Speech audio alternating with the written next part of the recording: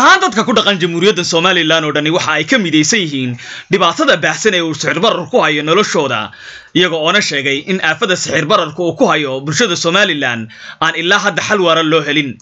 Haddaba si aan ugu kuurgallo xaaladda nolosha dadkii uu saameeyey sicir bararka iyo iskubeddelka lacagaha qalaad ee ay dalkani ku caanamaalo ayaa si aan xogogaal ugu noqonno waxa aan mikrofoonka la dhex qaadnay.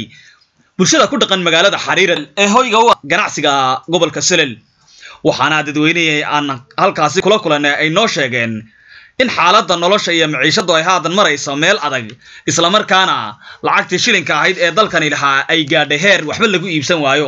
Sidoo kale waxa ay bulshadaasi noo sheegeen inay dhabannahays iyo dhakafaar ay ka qaadeen nolosha marba marka ka dambaysa sii adkaanaysa waxaana ay xukuumadda cusub ugu baaqeen iyo guddida dhowaan la magacaabay inay istaraatiijiyad cad ama ay go'aan cad ka soo saaraan sidii loo dejin lahaa xaaladda sixir bararka ee saameeyey nolosha bulshada. Wuunan shaqaynayn ay dawladdu lahayd. Waxaa la adeegsanayaa doolar waxaanan inagu lahayn.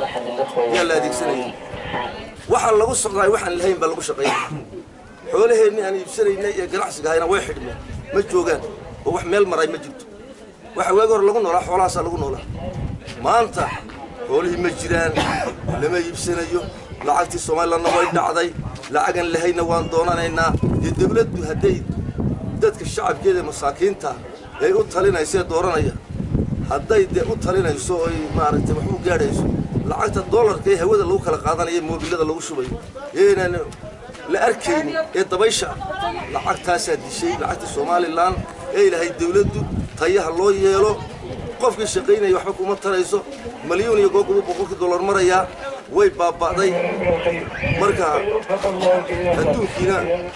ليش تجا مدخولين. في الشقيين الصومالي أول بحكة قادنا يسي. Haddii dee awooddiisa inta uu le karo ilaahay baa wax kareeya. Telefishinkan caalamiga ee ariel t v oo u kuurgala xaaladda siciir bararka iyo guud ahaanba dalka somalilan iyo gaar ahaan degmada xariirad ayaa waxaan wax ka weydiinay qaar ka mid a ganacsatada degmada xariirad. Muxiidiin xaaji ciise waxa uu ka mid yahay ganacsatada waaweyn ee degmada xariirad ee gobolka salel si kastaba haatee muddooyinkii ugu dambeeyey waxaa marba mar ka dambaysa sii badanayay sixir bararka oo islamarkaana naafeeyey guud ahaanba ganacsiga dalka oo dhan. Waxaana weydiinay muxiidiin bal sida looga hortegi karo ganacsiga sicir bararka xarkaha goostay muddooyinkii ugu dambeeyey ku absay dalkani somalilan anigoo ka hadlaya sixir bararka doolarka iyo birta iyo laanta. Sixir bararka birta iyo doolarka iyo laanta. Horta dhibaato weyn buu nagu hayaa. Dhibaato aada u fara badan buu nagu hayaa. Waxa weeyi waxaan dawladdeeda ka codsanaynaa in la dhaqangeliyo lacagta waddanka ee somalilan maxaad ugu baaqaysaa guddiga dhowaan u magacaabay madaxweynaha cusub ee jamhuuriyadda somalilan ee ugu talagalay inay ka soo tala bixiyaan ama ay xal waara u helaan sixir bararka xarkaha goosta ee aafeeyey dhammaan guud ahaan dalka somalilan iyo degmada xariirada iyo gobolka. waxaan ka codsanaynaa in ay sixir bararka meel ay u joogsadaan. Oo birtiyo laanta sarif go-an loo joogsado. Taas ayaa lagaga maarmi karaa. Taasaanan u diraynaa inay meel u joogsadaan. Laanta iyo birta. Bararku aada iyo aad buu waddanka ugu siibtay. Dhibaato badan buu nagu hayaa. Dhibaatadaasna waxaa noogu wacan lacagahan qalaad een isticmaalayno. Lacagahaasi sida doolarka iyo lacagtan etoobiyaanka subax walba qiimo ayaan ku soo waabarisanaa dhib ayay nagu haysaa waddanka oo dhan. Dadkii masaakiinta aad ayay u dhibaataysan yihiin.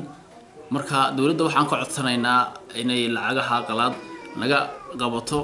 Guddida oo muuse bixi iyo dowladda cusub ay magacoodayna waxaan ka codsanaynaa inay mataqaanaa hawshaasi ay faraha la galaan.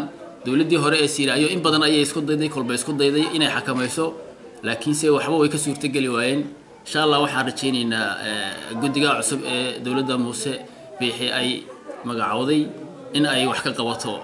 Yaan rajaynaynaa insha allah naayir waxa uu ka mid yahay ganacsatada degmada xariirada ee gobolka salel degmada xariirad waxay ka mid tahay degmooyinka dhinaca ganacsiga aada uga horumaray waxaase saameyn xooggan ku yeeshay sicir bararka iyo doolarka habeenba ama maalinba. Maalinta ka dambaysa sii kacaya iyo sida muxuu ahaa dadka deegaankani ay dhibaato weyn ugu hayo.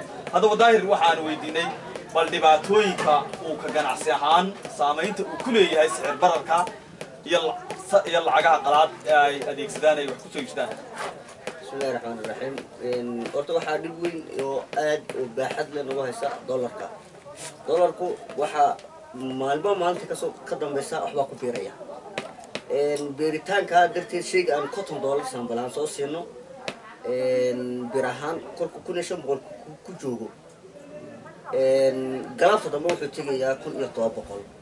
Shaygii ood kun iyo toddoba boqol siisay ayuu maalinta dambe ayaad intii aad siisay in kaloo ka badan au goynaya dhibta au horta weyn au nagu hayo doolarka wax ka mid ah. Maalinba maanta dambe au sii kacayo. Kicitaanka faraha badan ee au kacayo ayaa horta dhib weyn nagu haysaa haddii ay dowladda cusub ee maanta au muuse bixi hogaaminayo ay wax ka qaban karayso doolarka kacaya waxaan leenahay mudane madaxweyne wixii aad ka qaban karayso ee karaankaaga inaad wax ka qaban isku soo wada duuba gundhiga hadalkooga dadkii aan mikrofoonka la dhex qaadnay aan wax ka weydiinayna xaaladda sixir bararka iyo sida uu noloshooda u saameeyey ayaa waxa ay ku soo gabagaboobaysay inay marba marka ka dambaysa ay noloshu sii adkaanaysa islamarkaana uu doolarka cirka isku sii shareerayo taasna loo baahan yahay inay xukuumaddu tala qaran ka yeelato oo loo tudho dadka danyarta waa cabdimajiid ibraahim muumin ariel t v xariirad